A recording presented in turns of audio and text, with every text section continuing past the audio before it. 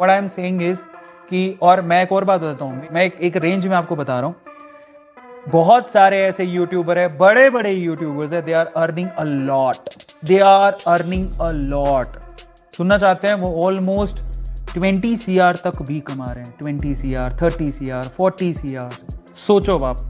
और इस it's not about YouTube सिर्फ़ यूट्यूब से नहीं कमा रहे हैं। ऑनलाइन से लोग पैसा कमा रहे हैं। ब्लॉगिंग करके ब्लॉगिंग करके वेबसाइट के थ्रू ऐप के थ्रू भुवन बाम क्यों फ़ेमस है? क्योंकि भुवन बाम के जैसी जो मल्टी करेक्टर टास्किंग वाली जो वीडियोस होती हैं, वो कोई नहीं बना सकता, इतनी फनी कैरी मिनाटी क्यों फ़ेमस है? रोस्टिंग के लिए फ़ेमस है। समझ में आ रहा है? अच्छा समबड़ी आस्किंग आशीष चंचलानी, बहुत अच्छा पैसा कमाते होंगे। आशीष चंचलानी जो आपके जो टॉप यूट्यूबर्स हैं, आशीष चंचलानी हो गया कैरे बिनाटी हो गया, भुवन बाम हो गया, बहुत अच्छा पैसा अर्न करते हैं। लेकिन उन्होंने मेहनत भी बहुत की है।